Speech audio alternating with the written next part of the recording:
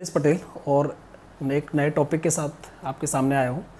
Topic है LDO gun start stop sequence तो जब हम बॉयलर में एलडीओ गन सर्विस में लेते हैं तो स्टेप बाय स्टेप क्या क्या प्रोसेस होता है, उसको एक्सप्लेन करूँगा किस तरीके से स्टार्ट सीक्वेंस कंप्लीट होता है और स्टॉप सीक्वेंस कंप्लीट होता है। तो ये बॉयलर का फर्नेस है। बॉयलर फर्नेस में ये corner number one two three and four जो हमारा गन एलिवेशन होता है उस पर चारों कॉर्नर पे इस तरह से गन माउंटेड होता है। ये सर्विस एयर का लाइन है। सर्विस एयर एल गन में एटोमाइजिंग के लिए यूज़ किया जाता है। और ये हमारा एलडीओ का लाइन है। यहाँ पर एल है light oil trip valve L light oil flow control valve then हमारा ये मैनुअल आइसोलेशन वॉल्व है। मैनुअल आइसोलेशन के बाद ये सोलनाइड वॉल्व है। ये सोलनाइड वॉल्व ये हमारा एयर नोजल वॉल्व है। ये वाला लाइट ऑयल नोजल वॉल्व है और स्केवेंजिंग वॉल्व देन एयर का लाइन और एलडीओ का लाइन ये गन के लिए गया होगा.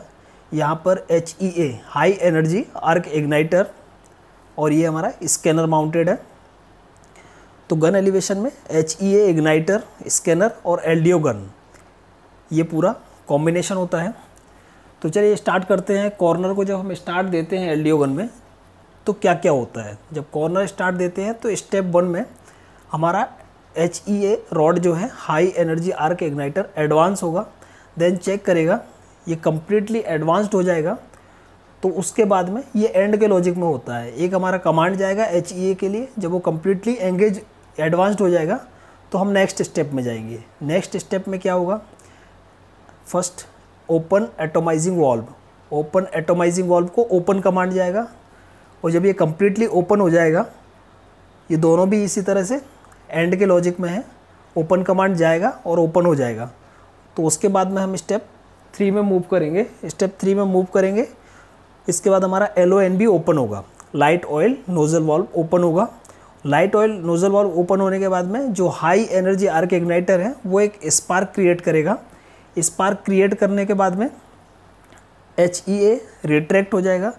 L O N B open होगा और स्कैनर फ्लेम सेंस करेगा। जब स्कैनर फ्लेम सेंस करेगा तो हमारा स्टेप फोर में मूव करेंगे और हमारा स्टार्ट सीक्वेंस कंप्लीट हो जाएगा। अभी हमारा L D O gun service में आ जाएगा। तो इसमें क्या क्या चेक करना है? इसमें चेक करने वाली बात होती है कि जब हम कमांड देते हैं और हमारा L O N B open होता है एल ओ एन बी जब ओपन होगा तो हमारा ऑयल का प्रेशर ड्रॉप होना चाहिए। जब ऑयल का प्रेशर ड्रॉप होगा तो उसको मेंटेन करने के लिए L O F C B को या तो हम मैनुअली मेंटेन करेंगे ओपन करेंगे। अदरवाइज़ ये ऑटो में ओपन होगा। जिस तरीके से भी इसको ऑटो में रखा हुआ है या मैनुअल रखा हुआ है। और देखेंगे, यहाँ पर स्पार्क क्रिएट होना चाहिए। स्पार्क क्रिएट करने के लिए स्पार्क क्रिएट हो रहा है या नहीं हो रहा है, इसका फ़िज़िकल ऑब्जर्वेशन बॉयलर ऑपरेटर से मिलता है।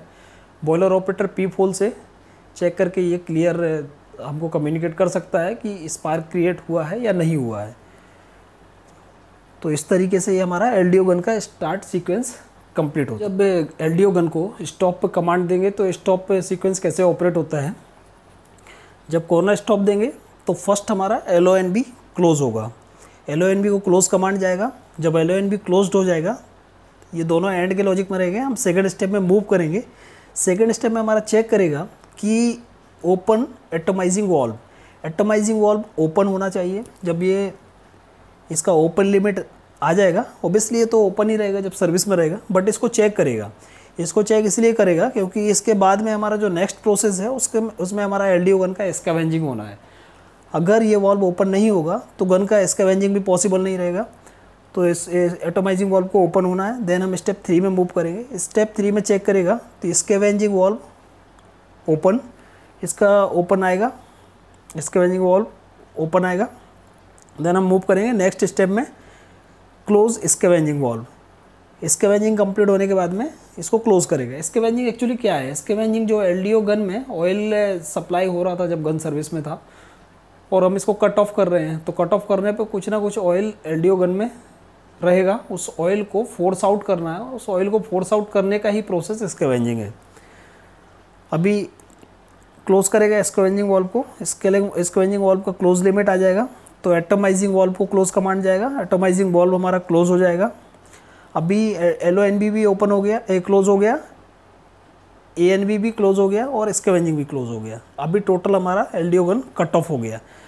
और इसमें कट ऑफ़ करते समय चेक करता है कि एसी पर पावर अवेलेबल होना चाहिए। ए सी पावर सप्लाई जो है हमारा A N B L O N B इन सब के लिए 110 वोल्ट का ए सी पावर सप्लाई होता है, वो अवेलेबल होना चाहिए।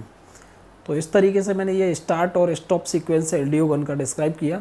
इसमें अगर कहीं आपका कोई डाउट है तो कमेंट सेक्शन में कमेंट्स करें और वीडियो को लाइक करें चैनल को सब्सक्राइब करें। Thank you thank you very much